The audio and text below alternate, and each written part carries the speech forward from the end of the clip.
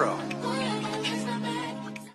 Hey YouTube, welcome back, welcome back. It's your girl Braids by Caylah, and I'm back with another video. As y'all can see in the first picture, I braided a money sign. If y'all wasn't able to get like a good look, you can rewind back or you can sit and watch me do it. So please don't mind my sister in the background, just dancing, just dancing. But yeah, I started off with two lines for the money sign, and then I braided the S. So you'll see me do that here. Just go two lines straight down, then the S, you know, it's not really as hard as it looks. Like you may see, um, like see it on Instagram and be like, how she do that? Ooh, that look hard. But it's really not actually. It's really not. I saw a picture and like, you know what I'm saying? Like I saw a picture, look, I looked at it really close and I saw how I was gonna braid it. And you can see that the two small braids going down, the two braids, they're up under the S, if that makes sense. The two lines is up under the S. So y'all just pretty much looked at the picture and went from there. Get a, got a good look, got a good look of it, and then just went from there. So you see me, you see me part out the curve part for the S. I ended up redoing this braid, redoing the S. I didn't redoing the S. I took it out and redid it.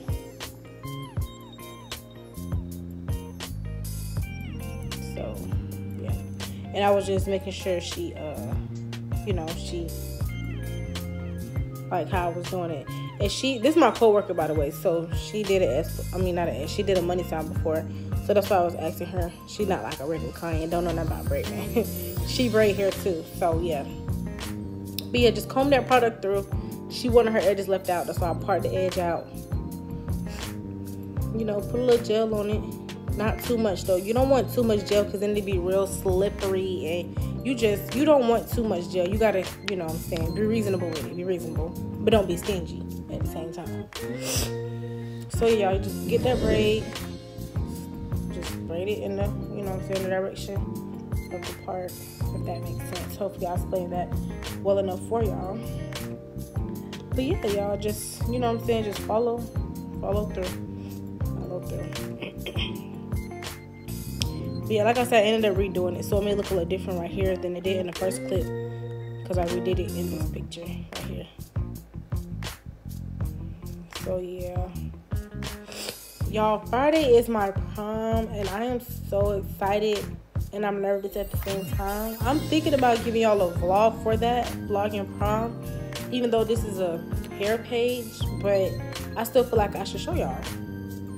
And I have locks, I have sister locks, so I'm gonna put a wig on for prom. And I'm so excited to show y'all how that's gonna turn out. I'm gonna get my nails done, you know, makeup done, you know, just the usual and I'm so excited. So yeah, I'm I definitely think I'm gonna give that um make a video for that for y'all. And you know, just give y'all a couple snippets, couple of snippets of, you know, when I'm at prom and stuff. I'm going with my boyfriend by the way, so we're gonna be matching. You know, I'll show y'all pictures and stuff too. But yeah. So when you do the S, well when you do the well, it don't even have to be an S. It's just any braid that or design that they want right there on the side and they want it pulled back into the other braid. Some people or some styles, you braid the back braid first, then add the piece in. Or some people at the end of that design and like feed it into like make that the start of the braid. If that makes sense. I hope it makes sense. But if not, then I would definitely make a more detailed video and slow it down and actually show y'all what I'm doing. So yeah, I'm just feeding in the hair. And some people ask, how do you know when to feed in? How do you know how much hair to feed in? It all just depends on the client's hair and head shape. It just depends on the client because it's different for every client. Every client don't have the same thickness of hair or every client, you know, every client isn't the same. So you're not gonna have the same for every client.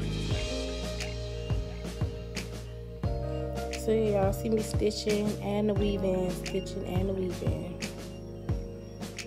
And a lot of people ask, how do you get your braids so close together without having to stitch it with a needle and thread? I just add enough hair and I make the braids touch in the back the so I don't have to add. Uh, I mean, so I don't have to stitch them because I don't like having to do that. I like for my braids to be just you know just braid it and be be done with it. So all I do is just braid and I add enough hair for it to be thick enough to touch each other back there so it can look like it's stitched but it don't be like sewed in like sewed together that's the word to use so it don't be sewed together because I don't sew my braids together in the back and one lady I remember I did somebody hair and she asked me, she was like, You're not gonna sew the back together? And I was like, Here, let me give you a hand hair mirror so you can see the back. So you can, like, you know, so she can see that I didn't need to sew it in. And she was like, Oh, okay. It already looks close together and stuff. So, yeah. I get that question, like, I get that question a lot. People ask me, Do I sew my braids together? I don't. It's just, they just naturally close together. And I taught myself that technique because working in a salon really taught me so much. But I didn't like I saw other braiders sewing the braids in the back. I didn't want to be that braider to have to sew the braids in the back. I wanted to just be able to braid naturally and just let it be, you know what I'm saying?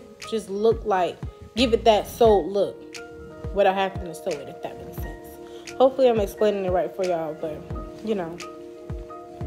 But yes, all the edges out is left by request. She wanted her edge left out.